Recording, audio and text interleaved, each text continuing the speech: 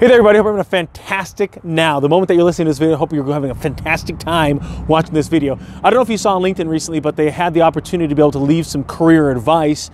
Um, and so today I had three people that had some different thoughts or different questions in regards to different keywords. And so I decided to just send them some messages. At the same time, I thought I'd make a quick video for them. Number one question was about career trans transition. I would say number one thing that you want to be able to do in, in, in regards to career transition is, is see what gaps you have in your overall career, see what you need to be doing right now at your current role to be able to get yourself ready for that next move. Um, also, don't forget to be able to network within your industry in order to make that next move. Know who's at the various companies that you want to be working at.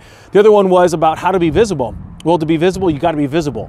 So, what I mean by that is you want to be able to make sure that you're having lunch with people, and your peers typically aren't the best people to have lunch with. You're going to be able to network with people outside of your department, with other people that are um, maybe in a different different role than yours. That way, you can understand the business better.